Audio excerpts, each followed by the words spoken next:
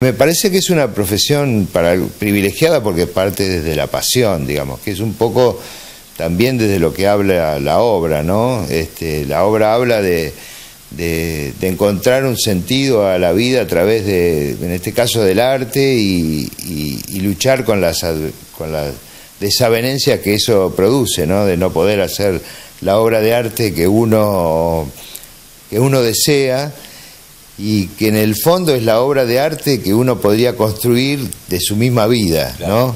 Es la vida de Odiseo que se está construyendo en un sentido metafórico a través de conseguir una obra de arte eh, magnánima, digamos, que, llegue a emular a, a, los grandes, ¿no? Y este poeta Lamborghini, que es un poeta nuestro, nacional, que estamos tratando de recuperar, ahora se lo está recuperando bastante porque es un gran poeta a mi entender, este, reconocido por Piglia, por mucha gente intelectuales, este, eh, tiene una obra muy profunda en ese sentido y lo que él trata es de generalmente de parodiar a los clásicos.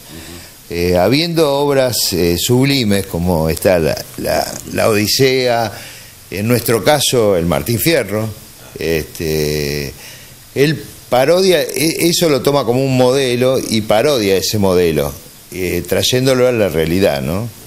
Acá hay también un juego con la ópera Turandot, ¿no? Donde a través de, la ópera donde Calaf eh, trata de, de cumplir el acertijo que plantea la princesa, y de esa manera liberar al pueblo, ¿no? Con, una cosa de la resistencia que nosotros tenemos hacia las cosas que no nos convienen, ¿no?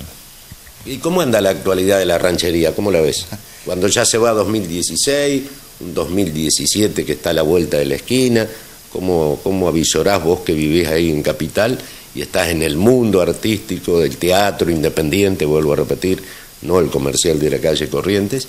Eh, ¿Cómo ves el futuro? Eh, y está complicado. Este, actualmente nos estamos, estamos perdiendo mucho tiempo en ir a ver gente, ir a ver funcionarios por el tema de las tarifas. Este, las tarifas nos han arrollado.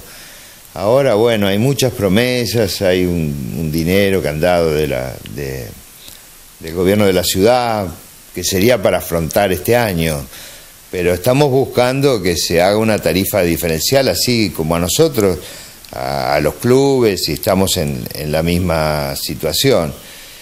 El teatro, eh, qué sé yo, está como siempre, digamos, eh, está tambaleando pero nunca muerto. En este caso, el teatro independiente, cada vez la gente entiende más que hay dos tipos de teatro, el teatro comercial y el teatro independiente que están definidos así porque depende de los medios de producción. El teatro independiente tiene medios de producción propios, sería lo que nosotros llamamos una pequeña pyme, como si 10 eh, obreros se, encontraran y empezaran a fabricar zapatos.